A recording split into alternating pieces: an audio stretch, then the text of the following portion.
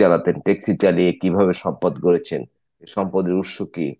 এগুলো অনেক রিপোর্ট হয়েছে। কিন্তু আমাদের এখানে সংস্কৃতি হচ্ছে যেমন দুদক বলা হয় এটা নাম দিয়েছে অনেকে বিদব মানে বিএনপি দমন কমিশন। গত আঠারো ফেব্রুয়ারি রোববার দিন এটা একটা একটা পত্রিকা ব্লুমবার্গের একটা পত্রিকায় বাংলাদেশের সাবেক ভূমিমন্ত্রী সাইফুজ্জামানকে নিয়ে একটা রিপোর্ট এসেছে আপনি নিশ্চয়ই এর মধ্যে পড়েছেন। তারপর আমি আপনাকে একটু মানে মনে করিয়ে দিচ্ছি সেটা হচ্ছে যে ওই রিপোর্টে বলা হয়েছে সাইফুজ্জামান চৌধুরীর তিন হাজার কোটি টাকা সাম্রাজ্য গড়ে তুলেছেন যুক্তরাজ্যে এবং যেটা মানে পাউন্ডের হিসাবে বলেছে দুইশো মিলিয়ন পাউন্ড। বাংলাদেশি টাকা দুই হাজার সাতশো উনসত্তর কোটি টাকা তিনশো পঞ্চাশটিরও বেশি মানে সম্পত্তি রিয়েল এস্টেট সাম্রাজ্য উনি গড়ে তুলেছেন এবং যেটা কিনা এখন যে আমাদের বৈদেশিক মুদ্রা যে রিজার্ভ আছে তার এক চতুর্থাংশ সমান প্রায়। তো এই প্রতিবেদনের পরে আপনি জানেন যে এর মধ্যে বাংলাদেশে এক সাংবাদিক যুক্তরাষ্ট্রের যে মার্কিন যে পররাষ্ট্র দপ্তরের প্রেস ব্রিফিং হয় নিয়মিত সেই প্রেস ব্রিফিং এ এই প্রশ্নটি তুলেছিল। তখন তারা বলেছে যে তারা এই বিষয়টি জানে এবং আমাদের সরকারকে বাংলাদেশের সরকারকে এই বিষয়ে মানে ওয়াকিবহাল করেছে এবং সচেতন করেছে এবং এই বিষয়টি নজর দেবে বলে বলেছে। তো, সো, আপনার কাছে আমি এখন জানতে চাচ্ছি যে এই যে এটা কিন্তু দুই হাজার বাইশ সালের তথ্য ব্লুমবার্গ দিচ্ছে। তো দ্যাট মিনস যে আমাদের যে এই যে কি বলে যে আমাদের বৈদেশিক মুদ্রার রিজার্ভের যে এত ঘাটতি এবং আমাদের কিন্তু বৈদেশিক মুদ্রা বিদেশে নেওয়া যায় না। সেটা তো আপনি ভালো করে জানেন আমিও জানি সাংবাদিক হিসেবে জানি। তো তাহলে এই যে মুদ্রাগুলো আসলে এই যে ঘাটতি হয়েছে এটা কোথায় গেছে? আমরা তো অনেকবারই বলেছি রিপোর্ট করেছি তারপরেও। তো এই বিষয়টি আসলে আপনি কি দৃষ্টিতে দেখছেন? এটি আমাদের খুব বড় সংকট। আগেও দুর্নীতি বাংলাদেশে ছিল। এখন যেভাবে দুর্নীতির মৎসব চলছে এটি ছিল না। নাম্বার টু আগে দুর্নীতি যেমন স্বৈরাচার এরশাদ রহমানে কিন্তু বাংলাদেশে ব্যাপক দুর্নীতি হয়েছে। কিন্তু তখন কিন্তু এই যে টাকা পাচার সেটি কম ছিল অনেক কম ছিল। কিন্তু এখন এটা ওপেন সিক্রেট ওপেন সিক্রেট এইভাবে এসব দুর্নীতি করলে কোনো বিচার হয় না। কারণ দুর্নীতি কে করল দ্যাটস ইম্পর্টেন্ট যদি সরকার দলীয় বা সরকার সমর্থকরা দুর্নীতি করেন তাহলে তাদেরকে বিচার আওতায় আসতে হয় না বা আসা আসা, আনা হয় না। আপনার নিশ্চয়ই মনে আছে বেসিক ব্যাংক দুর্নীতির বিষয়ে। বেসিক ব্যাংকের যিনি চেয়ারম্যান ছিলেন, তার বিরুদ্ধে পার্লামেন্টে ছয়বার বলা হয়েছিল যে তার বিরুদ্ধে ব্যবস্থা নিতে হবে। এটা বলেছিলেন কিন্তু তৎকালীন অর্থমন্ত্রী। অর্থমন্ত্রী বলার পরও ব্যবস্থা নেওয়া হয়নি। তাহলে তার শক্তির বা তার খুঁটির জোরটি কোথায় ছিল? এটি এটি সহজেই আমরা আমরা বুঝতে পারি। এই যে আপনি ব্রিটেনে যে সম্পত্তি গড়ে তুলেছেন যুক্তরাজ্যে এবং বাইরেও আমেরিকায় বোধ হয় আছে, আমরা আমরা কিন্তু দীর্ঘদিন ধরে শুনেছি এবং আমি যদি ভুল না জেনে থাকি, নির্বাচনের আগে এই যে ডামি নির্বাচন হলো, এই নির্বাচনের আগে সাইফুজ্জামান সাহেব সহ অনেক ব্যক্তির নানা দুর্নীতির খবর বেশি, বেরিয়ে এসছে যেমন গোলাপ সাহেব একজন, তার বিরুদ্ধে কোনো রিপোর্ট বেরিয়েছিল যে তিনি মার্কিন যুক্তরাষ্ট্রে ট্যাক্সি চালাতেন, ট্যাক্সি চালিয়ে কীভাবে সম্পদ গড়েছেন সম্পদের উৎস কি? অনেক রিপোর্ট হয়েছে। কিন্তু আমাদের এখানে সংস্কৃতি হচ্ছে যেমন দুদক বলা হয়। এটা নাম দিয়েছে অনেকে বিদব মানে বিএনপি দমন কমিশন। কারণ বিরোধী দল যারা করছে, তাদেরকে কীভাবে দমন করতে হবে সেটি তাদের একমাত্র লক্ষ্য। আমরা জানি বাংলাদেশের ব্যাংকগুলোকে ফোকলা করে দেওয়া হয় বিশেষ করে ইসলামী ব্যাংক যেগুলো আছে, ইসলামী ধারায় পরিচালিত হয়। এটা ওপেন সেক্টর সবাই জানে এটি কারা করছে। আবার খুব সকালে গিয়ে তারাই আবার এই দামি ভোটে নির্বাচিত প্রধানমন্ত্রীকে গিয়ে কি বলে শুভেচ্ছা জানিয়ে আসে। এই সংস্কৃতি আমাদের এখানে চলছে এবং আমি নিশ্চিত করে বলতে পারি এই টাকাটি যে তিনি নিয়েছেন এবং আপনি বলেছেন আমরা সবাই জানি বাংলাদেশ থেকে টাকা বাইরে নেওয়া যায় না। বিশেষ বিশেষ ক্ষেত্রে নেওয়া যায় সেটিও বাংলাদেশ ব্যাংকের অনুমোদন থাকতে হয়। কিন্তু এতগুলো টাকা তিনি কীভাবে নিলেন, এটি কিন্তু একটা বিরাট বিষয়। কিন্তু আমাদের এই জিজ্ঞাসা আমাদের এই বিষয়ের কখনো অবসান ঘটবে না। কারণ আমরা এগুলো কোনোদিন জানতে পারব না। এবং তার বিরুদ্ধে আমি চ্যালেঞ্জ দিয়ে বললাম আপনার অনুষ্ঠানে। এই এই তিন হাজার ফুটি কেন? পুরো বাংলাদেশের টাকাও যদি নিয়ে নিয়ে যান, তাহলে কেউ কোনো প্রশ্ন করবে না। কারণ তিনি ওই এই সরকারের মন্ত্রী ছিলেন এবং এই সরকারের অনুগ্রহ ভাজন। মানে হলফনামার আমি তথ্যগুলি আপনাকে একটু আমার হাতে আমি এসেছে দিক ছিল আমার প্রডিউসার দিয়েছে। সেটা হচ্ছে যে এই হলফনামায় উনি হলো দুই দশমিক চার মিলিয়ন ডলার সম্পদের কথা তিনি কিন্তু বলেছেন। এবং সেই সাথে তার স্ত্রী রুকমিলা জামানের সম্পদের কথাও বলা হয়েছে। সেখানে বলা হয়েছে তার আহ, স্ত্রীর সম্পদ মাত্র নয় লাখ তিরানব্বই হাজার ডলার। হুম কিন্তু এতে কিন্তু তিনি ব্রিটেনে যে তার সম্পদ আছে তার কোনো কিন্তু তথ্য দেখ- দেখায়নি। দ্যাট মিনস তথ্য গোপন করেছে। এই হলফনামায় তথ্য গোপন করলে কিন্তু এটা বড় নির্বাচনী আইনে বড় শাস্তি কিন্তু এটা আপনি জানেন।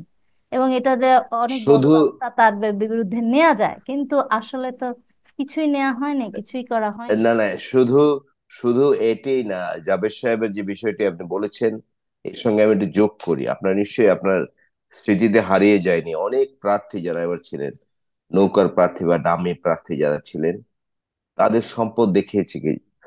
যাই করুক, আঠারো সালে যা আয় ছিল, এবার দুইশো, তিনশো গুণ তাদের বৃদ্ধি হয়েছে। নিশ্চয়ই আপনার দৃষ্টি এড়িয়ে যায়নি। এটি এটি কীভাবে হলো? কেউ কিন্তু এই প্রশ্ন করেনি, দুদকও এই প্রশ্ন করেনি, এবং কোনো কারও করবেও না। কারণ এবার জানি যে, এবারে যারা নির্বাচনে অংশ নিয়েছে, সবই দলীয় নেতা কর্মী যারা ছিলেন, একই দলের সুতরাং এগুলো প্রশ্ন করা হবে না। সুতরাং এখানে আমাদের হতাশা প্রকাশ করা ছাড়া আর কিছু আমি দেখছি না। আর মার্কিন যুক্তরাষ্ট্রে যে বিষয়টি বলেছেন মার্কিন যুক্তরাষ্ট্র ব্রিফিং এ বলবে কিন্তু কোনো ব্যবস্থা নিবে না আমার মনে হয় না। ব্রিফিং এ বারবার বলছে বাংলাদেশে বাংলাদেশের গণতন্ত্র নিয়ে নানা প্রশ্ন করেছে। কিন্তু আমি তো চ্যালেঞ্জ দিয়ে বললাম বাংলাদেশে এখন যে স্টাইলে ভোট হয় পৃথিবীর কোথাও হয় না। ধরুন চায়না সাউথ কোরিয়া সেখানে কিন্তু ভোট হয়। বাট সেখানে এক ধরনের ঘোষিত একদলীয় শাসন ব্যবস্থা। যেমন চায়না আমি দীর্ঘদিন ছিলাম চায়নায় কিন্তু ভোট হয়। সেখানে এক ধরনের কি বলে যে ঘোষিত একদলীয় শাসন ব্যবস্থা। উত্তর কোরিয়ার প্রেসিডেন্ট যিনি আছে এখন তিনি গতবার নির্বাচনে নিরানব্বই পার্সেন্ট ভোট পেয়েছেন। জানি না এক পার্সেন্ট যারা দেয়নি তাদের কি হয়েছে। তাদের আমরা জানি যে হি ইজ এ ডিক্টেটর। আমরা চায়নার ব্যাপারে জানি যে তারা কেমন শাসন ব্যবস্থা চলেছে। তারপরে রাশিয়ার ব্যাপারে জানি যে তারা কেমন নির্বাচন করছে। কিন্তু গণতন্ত্রের শব্দ গণতন্ত্রের নাম দিয়ে বাংলাদেশে যে এখন নির্বাচন হয় এটি পৃথিবীর কোথাও আর হয় না। ইভেন আমরা আগে শুনেছি আফ্রিকার কিছু দেশ ছিল বা আফ্রিকার কিছু দেশ আছে তারা এই ধরনের নির্বাচন করতো। সবাই অতিক্রম করেছে। আমি একদম খুব কি বলে যে একদম খুব কয়েক গত কয়েকদিন পাকিস্তান একটা নির্বাচন হয়েছে। আপনি জানেন যে আমরা পাকিস্তানকে ফেল লিস্টে বলি ওয়েস্টার্ন মিডিয়া সব বিভিন্ন মিডিয়া কিন্তু তাদেরকে আহ, তাকে ফেল লিস্টে হিসেবে চিহ্নিত করে সেখানে নির্বাচনও শরীফ হেরে গেছে। বাংলাদেশের যদি আপনি ভাবতে পারেন যিনি পাকিস্তানের রাজনীতির এখন মূল নিয়ন্ত্রক তিনি কিন্তু হেরে গেছেন। এবং মানুষের আমি নৈতিকতা দেখুন একজন যে রাওয়ালপিন্ডি যিনি কমিশনার ছিলেন বাংলাদেশে যেগুলো হয়েছে রাওয়ালপিন্ডি সেটি হয়েছিল। এবং তিনি কিন্তু পদত্যাগ করেছেন এবং পুলিশের হাতে ধরা দিয়েছেন। যারা পঞ্চাশ হাজার ভোটে হেরে জিতেছিল তাদেরকেও হারিয়ে দিয়ে আহ, ইমরান খানের পার্টির লোক যাতে না জিততে পারে বিরোধী পক্ষের প্রার্থীদের জিতিয়ে হচ্ছে বাংলাদেশে আপনি দেখুন, এখন একদলীয় শাসন ব্যবস্থা, একদম নবরূপে না, একদম কি বলা যায়, বাকশালের চেয়েও কঠিন বাকশাল। বাকশালে আমাদের একটা প্রিপারেশন ছিল, ওকে, বাংলাদেশের সব দল ব্যান করা হয়েছে বা তাদের কার্যক্রম স্থগিত রাখা হয়েছে। কিন্তু এখন কিন্তু ঘোষিত না, কিন্তু অটোমেটিক হয়ে গেছে একদল শুধু পার্লামেন্ট না, সর্বত্রই।